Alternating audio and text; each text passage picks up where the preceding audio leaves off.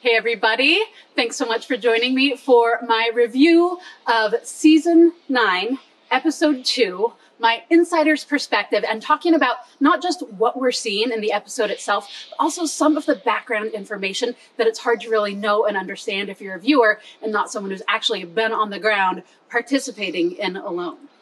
So I am going to be talking about something that I alluded to last week, which is talking about things like salt and nutrients and ration choices. I'm going to be doing that at the end of this video after going through and talking about all of the new folks we've been introduced to and what we were seeing on this season episode two. Last week, I mentioned that I'm going to be talking about Benji's choice to bring salt. I believe several people on the season brought salt and talking about the salt, sugar, and rice ration versus bringing a block of salt like Benji did versus different ration choices. So I'm going to be doing that at the end of this after going through and talking about the episode itself and all of the new folks we got to meet this week. So this episode comes in at that crux that's right at the end of the first week and going through all the way to the second week. And so before we dive into talking about what we're seeing on the episode, I think it's really important to talk about what it's like out there during those four, first two weeks because the first week to two weeks are really critical. It is when our bodies are going through a major shift from being super well fed and having all of the things we need to adjusting to the pretty intense circumstances of being out even if you're getting food, even if you brought a ration, even if you happen to have great weather and you got a great tarp set up right away, it is still a pretty difficult transition. And that's just physically. It's also a pretty intense mental emotional transition, right? Going from being around people and particularly during this time pre-launch, you are with people all the time, right? You're having three meals a day. You're sitting with all of the other participants. There's all kinds of talking and strategy and camaraderie. You're doing all kinds of stuff with the producers and the show staff. So it's a really intense social time with a lot of pressure to nothing, no human interaction and nothing else going on. So there are all kinds of really intense transitions that we're not necessarily super aware of as the viewer. Every day just kind of looks the same to the viewer, right? But internally, huge difference between week one, week two, and then I would say after that two week time is when it does all start to be a little bit more similar because we've made our hugest transitions mentally, physically, emotionally. So we start off with a whole new cast of characters that we didn't get to meet thoroughly last week. So we begin the episode by looking at Teimojin in his spot and him walking around and trying to choose a shelter location. Looking at Teimojin, it looks like it is raining as soon as he gets launched, which is an indication that he probably got launched later in the day than a lot of other folks, because some people seem to have quite a window before the rain hits, and it's not that huge a geographic area to where we're going to be having different weather patterns in different locations. So this is another important thing that a lot of folks don't realize, which is that when you get launched can have a really big impact. Now it looks like we've got different locations and some folks are getting launched with boats and some are getting launched with helicopters. So I'm going to guess that those different launch styles means that they can be launching people two at a time, right? One out with a boat and one with a helicopter. So hopefully that means that there's not as big a gap. But when you're launching everyone from one helicopter, it can be hours between the first person getting launched and the last person getting launched. And those hours make a huge difference that first day when your for number one priority is to scout around a bit and get that first night shelter up. Doing that with several daylight hours to spare versus doing that when it's already raining and the sun is going down soon that's a really big difference. So it looks like Teimojin is starting off at a bit of a handicap. I'm guessing he was the last one launched, just given the fact that others had a while saying, hmm, looks like it might rain. And then there he is standing on the shore in the rain, right? Really excited about getting to bring Teimojin on to one of my Q&A sessions on my Patreon channel later in this season. So just a reminder, my Patreon supporters are a huge support in allowing me to do this, and they get all kinds of inside scoops that I don't put out to the general public. So please help my channel by subscribing, liking this video, clicking the little notifications bell, and consider joining my Patreon team, which is going to be really awesome this summer. So Q&A session with myself and Teimojin is going to be making a guest appearance later. I will say that he has a huge advantage in being a doctor. To my knowledge, this is the first time with someone with that level of medical training and an actual doctor has been on the show. And just as he says, knowing how to treat himself and understand what's going on with his body is huge because how many medical tap outs or other health related issues do we see on the show, right? It tends to be a really big thing. It takes a lot of people out every season. So having someone who not only knows how to recognize what's going on with their body and knows how nervous they should be about certain symptoms and who knows how to treat themselves should they have some kind of accident, that's really huge. That and living in in Montreal, so pretty far north. Well, Quebec City is where some of his footage was. Quebec City is far north. Montreal is not super, super far north as it goes in Canada. But living in a northern climate, being Canadian, having military background with intense deployments and having the medical skills, really, really good skill set. So I'm really excited to see what we're going to see from Teimojin out there. Definitely looks like a challenging place he's in with so much deadfall and not a lot of open ground and really hard area to be able to scout. Those woods are just so thick. It's going to be really hard to cover much ground and be able to see very far and know what kind of terrain you've got to work with. So we see Teimojin setting up his first night shelter by just hanging some paracord between trees and setting up a simple A-frame. Simple A-frame is a great way to go, especially for your first night out when you want something quick and effective. Another thing that's really helpful about it is that it's going to give you a really good pitch to your roof, which is going to make it way more waterproof. And the majority of your tarp is up, suspended, not on the ground. I don't know if you guys are thinking about this as I am, but as I am looking at those tarps, they are really, really thin. They are one of the thinnest grades of those standard woven poly tarps that, that comes in, thinner than I've ever seen. They look more like garbage bags than they look like tarps. They are extremely fragile. So being really, really mindful of how you set it up that first night in particular, when there's urgency, you don't have a lot of time, and you're doing a rush job that you don't think matters that much, really easy in your haste to drag it past some of that deadfall that's everywhere around there or over a branch with a little stick sticking out of it and to get that big hole in your tarp right off. So the nice thing about Teimojin using paracord is it means that he's only suspending it on materials that he knows don't have a bunch of snags and rough spots. We'll talk about this when we look at some of the other shelters that people are putting up as well. So really, really key to be really careful with that shelter that first night. And the paracord isn't ideal because it does sag in the middle, but it's quick and easy and does the minimal damage. I'm honestly a bigger fan of using something like a ridge pole and peeling it well, but that's gonna take a lot longer. So the advantage is that it's gonna be straight, it's not going to sag at all, and it's gonna be allowing you to have a firm structure to pull it from to keep that tarp nice and taut. It's gonna take longer though. If you're planning on doing a shelter that uses a ridge pole, then you've already got your ridge pole, so it's not necessarily lost effort, and that would be my choice in such a situation. But there's so many factors that they have to consider that we don't know as the viewer. From here, we go to Terry, and Terry is out there on the river with a harbor seal, which is a really great clue to the kind of terrain they're on. So they're all on a big river, but big rivers are heading out towards the sea. And we saw that last episode with Igor, who had seaweed to eat right? Now we see Terry with a seal. A lot of other folks are clearly further inland. So I'm going to guess Igor is probably the closest to the ocean because the water must be brackish or close enough for tidal influences to be bringing in seaweed like that. Terry, I'm wondering if Terry is the next one in because it's close enough to the actual ocean for that seal to be coming up, probably getting some of those amazing trout that are clearly in that river, right? So cool to know that you're close enough to the sea that maybe you're going to have some access to salt water. Not cool to have a harbor seal that is potentially going to be competing with you for your fishing. So Terry says absolutely the right thing early on. He says, first thing I want to be focusing on out here is my shelter and then getting fire. So absolutely right in an environment like that. Unfortunately, oh my gosh, what a hard time getting fire. Really feeling for him because in an environment like that, the ground the lichen, the moss everywhere around you is just absolutely saturated.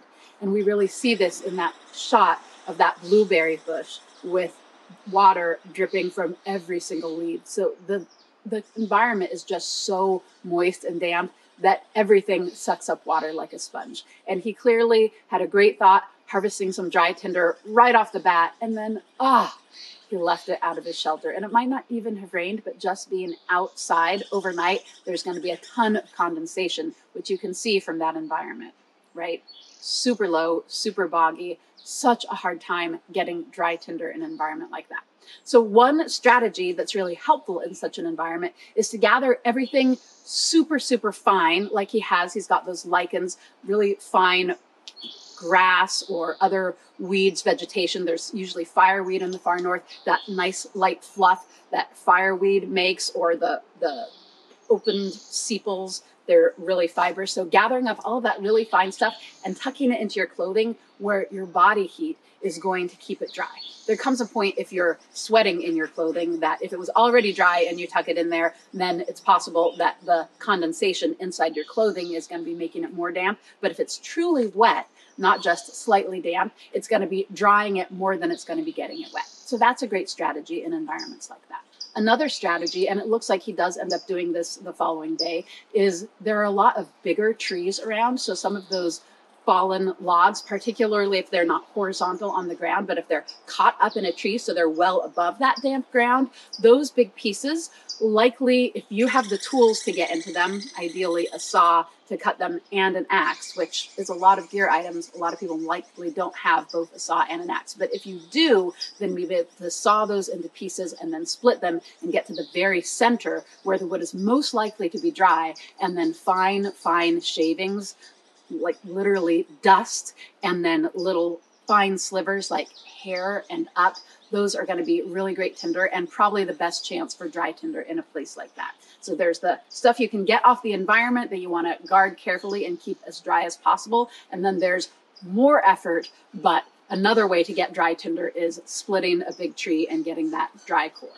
We also see Terry doing a technique with a ferro rod that we haven't seen a lot of, which is scraping it with a lot of pressure and really slowly and getting some shavings of the ferro rod down into his tinder bundle before he's actually going with more vigor to get sparks. Now, this is a strategy that a lot of people are going to be thinking of magnesium rods with because magnesium is something that will catch if it gets a spark and it's going to burn really really hot and it makes it really easy to light other tinder even if it's a little bit wet because it's pumping out so many BTUs.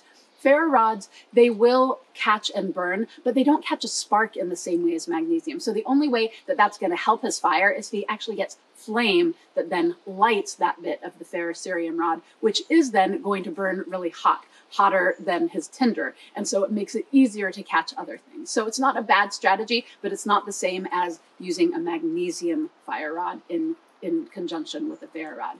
Oh my gosh, you guys, it is starting to rain, which I have to say, it is June in California right now. And what an amazing thing to have it be cool. I'm wearing long sleeves and we're getting a little bit of rain. This is awesome and very appropriate for talking about Alone season nine. Really feeling for Terry with not being able to get a fire that first night. Just such a feeling of defeat. And also, he needs it for water. And so, not having water is really, really a critical survival crux because you can't go very long without dehydration really affecting your body, affecting the way your mind works, and potentially setting you up for a hard time, even if you do eventually get water. Se- severe dehydration can take a while to recover from, and it can really muddle your senses in the meantime. So, crossing my fingers for Terry to get fire soon. Also, that shelter, dang, looking pretty rough really think it would have been a better idea to do something to get it raised up, having some support, not just wrapped around him, because that makes it one have a lot more contact with the ground and dragging past snags can get a hole in it. The condensation issue he has, also with tarps that thin, when you've got all of that that surface area where the tarp doesn't have much pitch and it's going to have low spots where it's going to be puddling, I'm guessing that some water is going to be able to get through a tarp like that. So, oof, hoping that he gets his shelter a little bit more together soon. And then we get to meet Tom. Now, right away, I'm thinking, wow, Tom is a pretty slender guy going in. Doesn't have a lot of reserves on him. So I'm really, really hoping that Tom gets a lot of food because it definitely makes a difference out there. And it looks like a lot of folks have managed to put on a fair amount of weight. And I'm not sure that Tom has managed it. So it's going to mean that he's got food, more on the line at the very beginning of his experience than some other folks might. Really loved hearing about Tom's background and seeing that he is someone who tends the land, does prescribed burns in his area, and seems really to be in deep relationship with the ecology of his home space. And I have to say, as someone who believes that that is a super important survival skill, I believe that it's not just the way that we relate to the land, but I also feel that the land recognizes someone who has that kind of relationship and history with having a tending relationship with the land. And I feel that the land appreciates that and responds to it. So, hoping that that ends up being a really critical skill for Tom, his dedication to tending and engagement with the ecology of the wild landscape. As we see him walking around, just again, hard terrain, thick, thick woods. It means it's more calories to walk around. It means that we don't get a lot of sunlight down to the ground, which means it stays wet. Everything just stays wet a lot harder. It makes it hard to navigate, way easier to lose your way in thick woods like that. We saw this with Teresa on season eight, losing her way and not knowing how to get back to her shelter late one night. So that kind of thing is way more of an issue in thick, thick woods like that. And then, of course, it's just hard to to get a feel for the resources. It makes it easy to lose your arrows, easy to lose other things, and you just can't see very far in front of you. So harder to see game, harder to know where good water is, harder to scout and just assess your location. So I'm going to circle back to talking about the type of fletching Tom has on his arrows when we see it with a couple other folks, especially when we see arrows side by side. But Tom is using a particular type of arrow that is really wise to bring to that location. And he gets a squirrel with it. Hallelujah.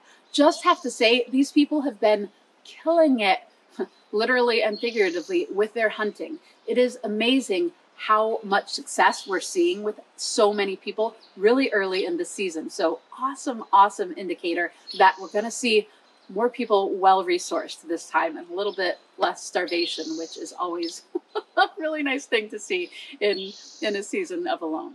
Also, huge props to Tom and everybody else. This is the first season that we have not seen the one thing that is one of my biggest pet peeves and biggest poor choices that people made in survival situations like out on a alone. And that is Tom is cooking that squirrel in his pot, right? Not skewering it on a stick over the fire and roasting it. The issue with roasting things over the fire are many. One is we tend to overcook the outside and leave the inside raw. You basically can't get the inside fully cooked without overcooking the outside, which means you're more likely to get sick, which we have seen happen with people eating undercooked animals on alone seasons. And then, even more important, when you have something dangling over the fire, what is happening? The fat is melting, dripping into your fire, catching fire, and you are losing the most important resource on that animal the fat it melts at high temperatures. Do not roast your animals over an open fire where everything that you need most drops into the fire and gets burned up and goes away. Second thing is also the blood is dripping out. Blood is the highest source of sodium. So there is salt in the blood of animals. And if that blood is dripping out into the fire, again, you're losing one of the most important resources. We see so many people have issues with not enough salt out there. So people cooking in their pots means they're cooking more thoroughly. It means the bones are getting cooked well enough that they're going to be able to eat the ends of the bones, get some good collagen and some good calcium and other minerals from the bones. And it means that you are not losing the most precious parts. So nice, Tom, and nice on everyone else who's been cooking in their pots, not over the fire. Hallelujah. And then we go to Adam, hearing a little bit more about his background. I knew there was someone from England on this season, and I've been waiting to see who it is because there's no English accents on this season. But it is Adam, and it seems like he lost his accent early on so that he didn't get made fun of in Arkansas. And that is the kind of thing that builds resilience. So sometimes having to struggle a bit makes us stronger people. I'm hoping we're going to see that in Adam. He's doing some demos and showing his life. And I will say that he sets up that figure four trap with the deadfall and says that would have been a dead mouse. And it would have been. It also would have been a mouse that was squished to smithereens with its guts spewed all over the rest of its body because that rock was enormous for a mouse. So generally speaking with deadfalls, you want to be sizing the size of the rock to the critter that you're trying to take out with it. Because if it's too lightweight, then you're not going to kill the creature. But if it's too big, then you're going to be destroying the creature and making it less edible. So something to think about if you're setting up for alone or actually setting up deadfalls in a survival situation. I will also say that sailing, uh, a big passage on a sailboat, going across the Atlantic on your own, that is freaking awesome training for alone. Because guess what? You are all by yourself. It is really, really challenging. Less resources in the open ocean, depending, than on land. And there's no tap out button. So I feel like a solo sailing journey is really building resilience for an experience like Alone. Really sweet. Adam is killing it again with his shelter. Really nice shelter from the very beginning. I will say it seems a little tall and that's going to be a lot harder to heat, but there's there's positives and negatives with something like that, right? Because you want it to be a place that feels really good to be in for your mental emotional outlook, being comfortable, feeling really good about your shelter, knowing that it's solid. That counts for a lot being cold also burns up a lot of calories. So you really got to balance that equation. And if you're a tall person and squatting is hard on your body, then sure, maybe having a shelter that you can stand up in a lot of is a good idea. But to me, I would have wanted that a little bit lower so I could still be comfortable, but so it was going to heat up with the heat of my fire a lot more efficiently. That said, heck yeah, uh, that nice moss for the walls and having it be sturdy peeling the poles so that they're not going to damage the tarp. And then him doing the the shingling with the pine boughs is really awesome because one, sure, it helps shed the water so that you've got a, a fail safe, you know, you've got that to stop the water before it even gets to your tarp. But also it's going to protect the tarp. So branches that fall down aren't automatically going to just pierce your tarp. It's also going to be adding some insulation. So a lot of great things about the way he's putting together that tarp with the moss on the sides and the pine boughs, spruce boughs on the top. That said, you cannot always trust the little alone, the little text on the bottom of the screen because it says in there, moss is waterproof and blah, blah, blah.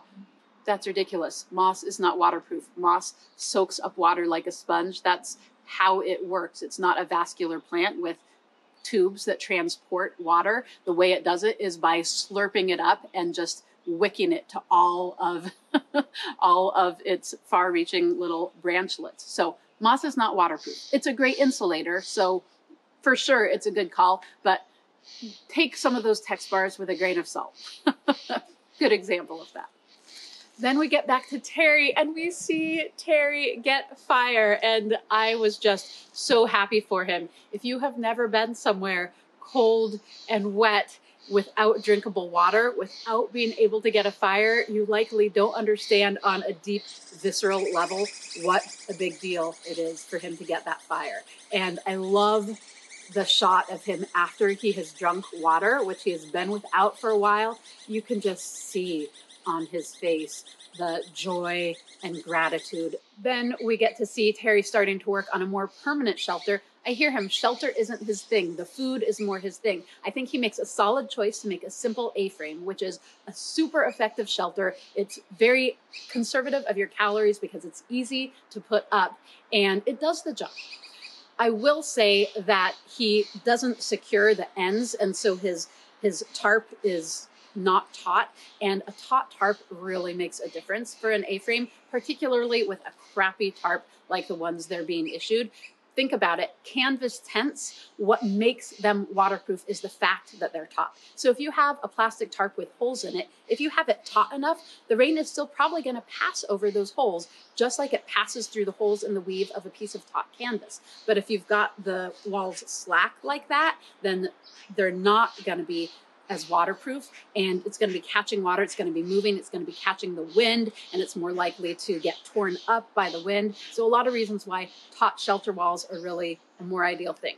But it's early on in the game, hoping that Terry is going to figure that out and put a little bit more work to that simple structure and have it be more effective for us. Then we circle back to Teimojin and we see him making his fire pit. Now, I don't have much experience with Dakota fire pits, but it makes sense to me that Teimojin is the one who we see making them because I think of them as more of a military survival kind of a tactic. specifically, they are a way to make fire that is hidden, right? They don't smoke very much. They work like a rocket stove. So they don't make much smoke and you don't see any flames because the flames are beneath the ground. So if you are on a mission and you're trying to be stealthy, then they're a great technique. I don't think that they're as good an idea for somewhere like Alone because one, you're not getting all of the light which is not just useful to be able to do things, but it's also really, really comforting to the soul to be having that. We call it soft fascination, that play of light and color that's just so mesmerizing. That's really, really good for your emotional well being and for your brain health and your nervous system. So, burying your fire like that, you're missing out on that. Also, it's great for cooking because it directs a lot of heat right up under your pot.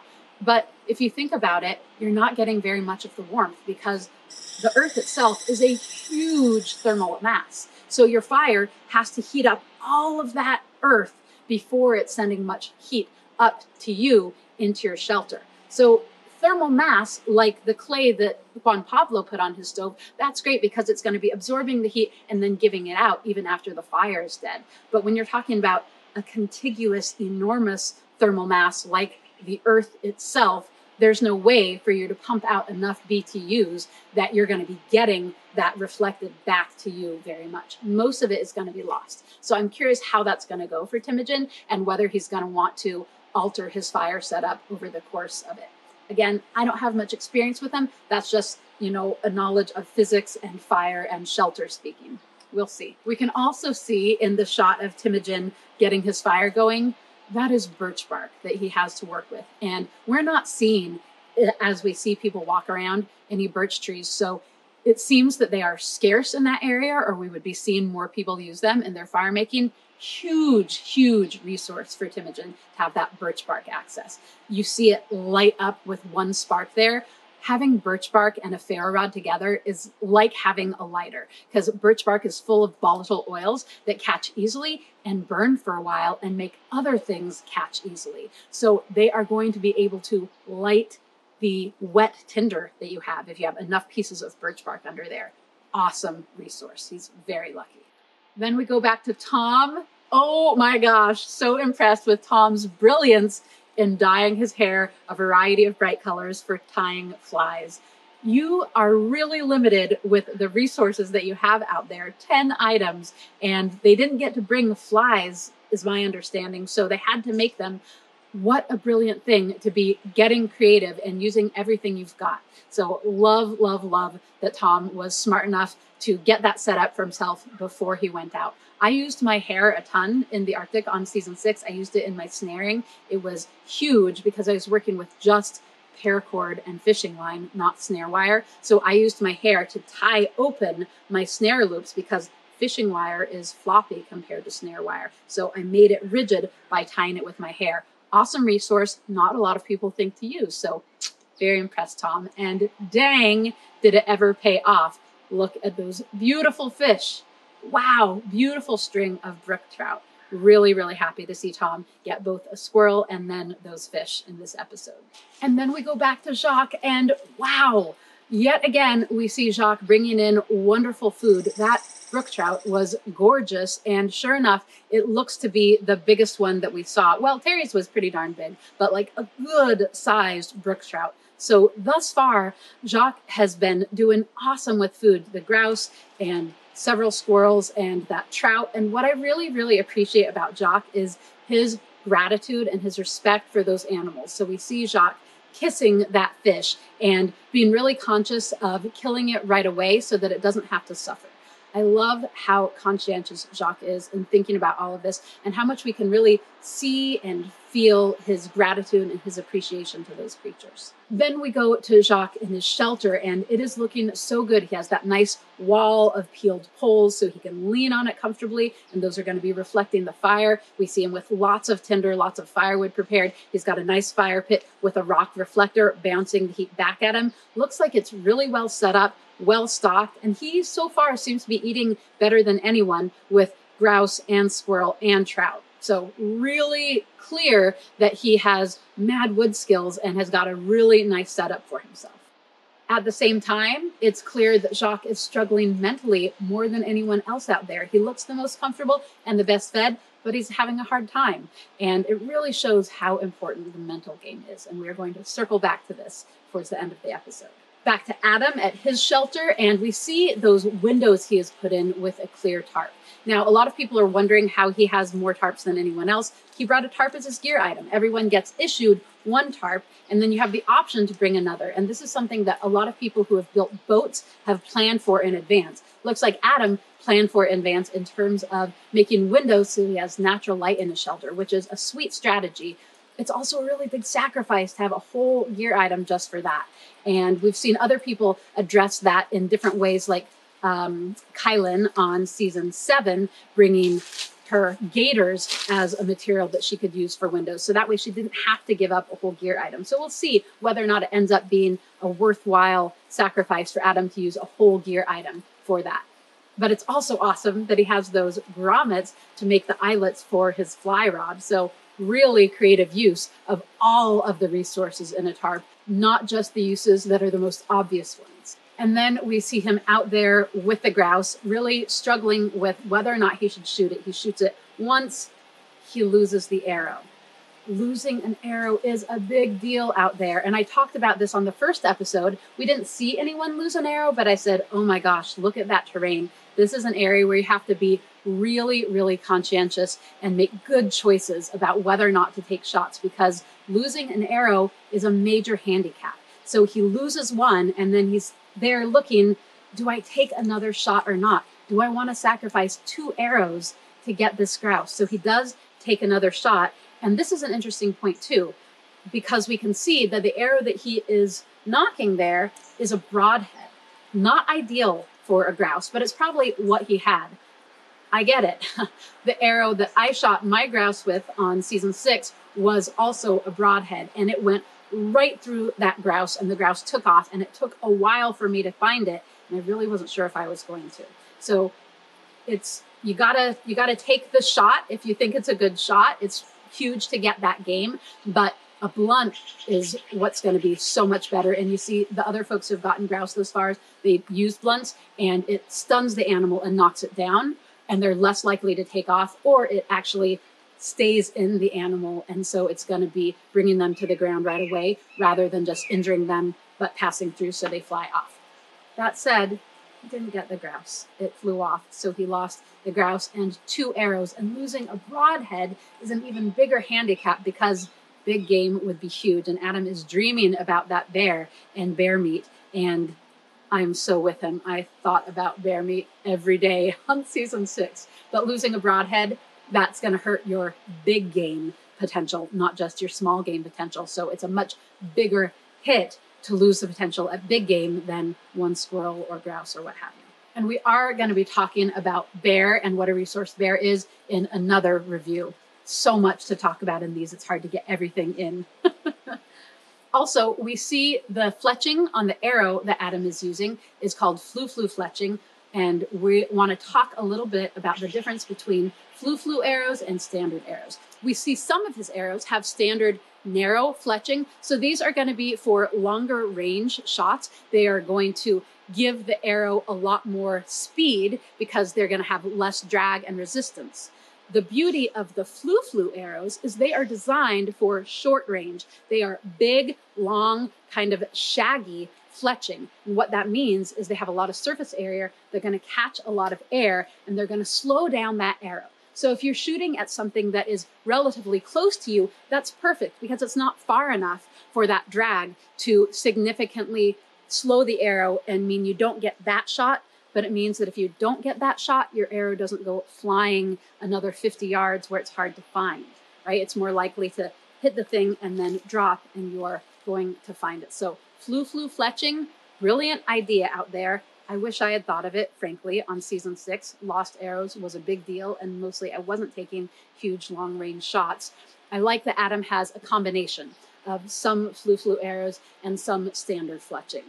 Really, really good way to play it. Then we come back to Jacques, and Jacques is standing there pulling up his shirt, looking at how much weight he has lost. And even though he seems better fed than most folks, he's dropping weight like crazy. And I think that this is one of the factors that's actually really weighing on him in his later decision making process. It's really easy to feel defeated, especially when you feel like you're doing well. And he said before, I feel like I'm killing it out here. But then you look at that weight loss and then you question everything, right? And then you think, oh God, maybe I'm not killing it. Maybe I'm not doing as well as I thought. Maybe there's other people out here getting big game and I'm just getting small fish and small game. And so I'm guessing that that was part of the kind of snowballing of all of those different mental, emotional processes that Jacques is really starting to feel big time here. This just shows that alone is about the physical skills, but it is such a mental, emotional thing, right? Jacques, he has a great location. He seems to have both deep forest and a lot of resources and open area, less dense and thick than the areas we're seeing a lot of people really struggle with. He's eating well, he's got a great shelter, and yet he's having the hardest time having that good strategy for how to bring yourself back when you're having a really hard struggle out there is a really important strategy if you want to be out there long term. So this brings up the question, what is the goal here? Not everybody has the same long term goal out there. Some people are there for the experience. Some people, the only thing they care about is winning. Some people aren't sure why they're out there, but they want to see what this amazing initiatory journey has to teach them. And so I think we're really seeing Jacques in that process of weighing what is this about? What do I care about? What are my goals here? And how am I doing with all of those? Clearly, the loneliness, the hunger, the isolation, and the, the mental aspects of what it is to take a life are really weighing on him.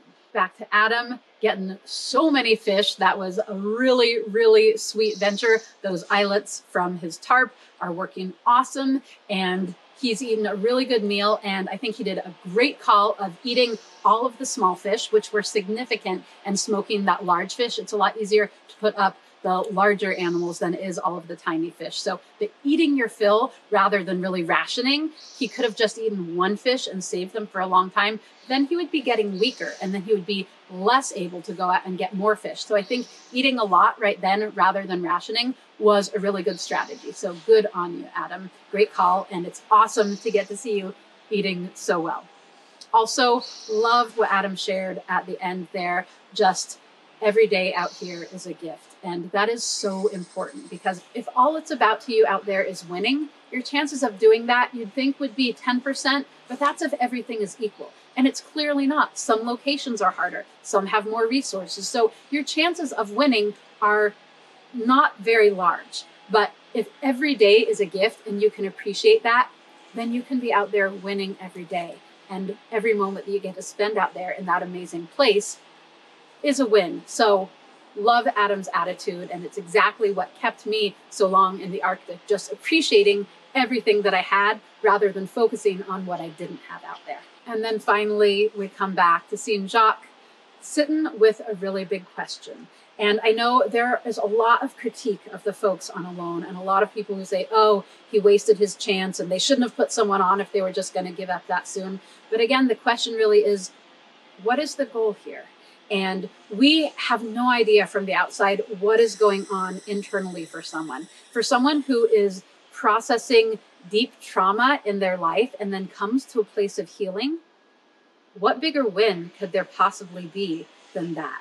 Right? So you know, on the one hand, we can say, well, maybe that was just a hard time and he could have pushed past it and, and found something even better. But maybe that was the most potent moment and the choice he made in that moment of deciding what was really important to him and honoring and going for that. Maybe that was more transformative to him than the win or a bunch of money, right?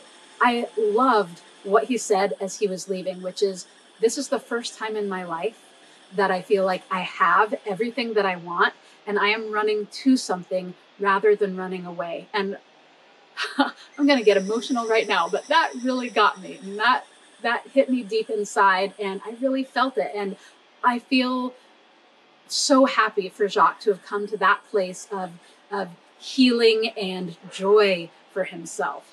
And that's what alone is really all about. we don't know what the journey is that we're signing up for in that moment. It is something that unfolds for us while we're out there. And pretty much it's always going to be something different than we expected. And what a beautiful thing to go out in that way rather than being pulled for weight or from an injury or who knows what could have befallen him.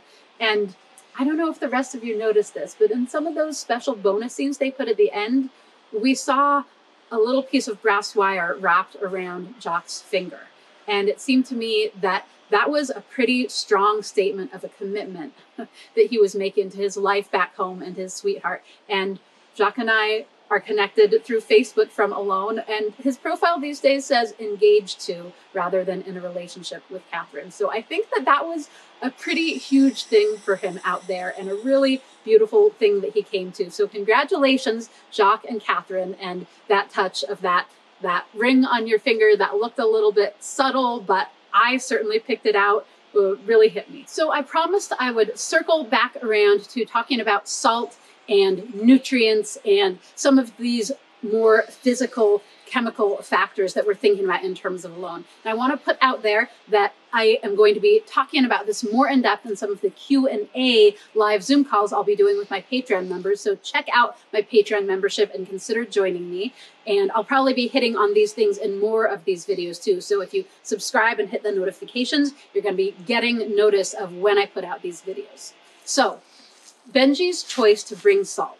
We have seen a lot of people have massive issues out there from lack of salt. It can be potentially a really dangerous thing to have your electrolyte balance thrown off significantly. We saw Larry on season five. I don't know if it happened to him on season two, but blacking out from lack of salt, from mineral imbalance out there. While it seems like a big sacrifice to have a whole gear item be something like salt, there's certainly the potential that it could give you weeks out there or that it could save your life because if you blacked out and hit your head on a rock and weren't awake to hit the hit the call button, lack of salt could potentially kill you. So I get why Benji chose that it's not a choice that I feel like I would have made because I think that there are some other ways to be creative about getting your salt needs met. You could bring a ration that you highly, highly salted. Nathan on season six, my season, did that same thing. He brought Gorp and he soaked all of his raisins in a really, really intense salt brine. So each raisin was like a salt tablet, but then he also had the chocolate and the peanuts. So he had a lot of calories in addition to the salt.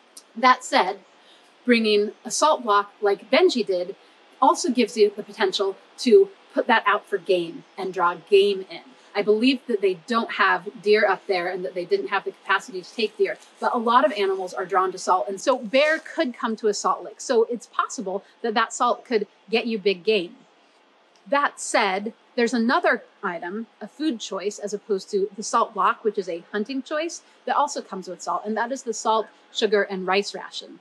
However, I consider sugar and rice to be fairly useless out there because they are carbohydrates. And if you're eating carbohydrates, then you're delaying your body's metabolic transition into ketosis. And ketosis is a more efficient metabolic state to be in. So you don't want to delay ketosis. So I think that bringing the salt block is probably a better idea than the sugar, salt, rice ration. Also, in that ration, it's probably just white salt. Benji bringing the Himalayan pink salt is brilliant because there's a lot of other minerals, and minerals are really, really important when you're out there. Vitamins are really important out there. So, what I would have done rather than just bring the Himalayan salt was bring like a livestock salt block that has a bunch of vitamins in it, or make your own. Pound up multivitamins. B vitamins are super, super important. Calcium and iron. Potassium is super important. Biko had major issues from lack of potassium on season eight. So making a salt block has the vitamins and minerals that your body needs would be an awesome strategy. So that's what I would have done. That said, it's possible that that wouldn't have been allowed. But if you made it like one of those livestock blocks, I think that they would allow that. So a salt, vitamins, and mineral block, pretty smart way to go. Personally, what I did is I was really conscious of health and nutrition before going out. So I loaded up my system by eating really healthy, lots of liver, lots of food based multivitamins, lots of dried green supplements, vitamin mineral greens, all kinds of things have my body as fortified with all of the minerals and vitamins that it needed that could be stored in my system. So things like vitamin C, they leave your system right away. So you can't do with that. But the longer term fat soluble ones, vitamin D, vitamin A, those ones you can load up your system with. And it's a good idea to be bringing your vitamins out there in that way if you're not going to be bringing something like a ration that has salt in it or some other way to get those needs met out there. Thanks so much, everyone. Really appreciate you watching and look forward to seeing you on my season season nine, episode three recap.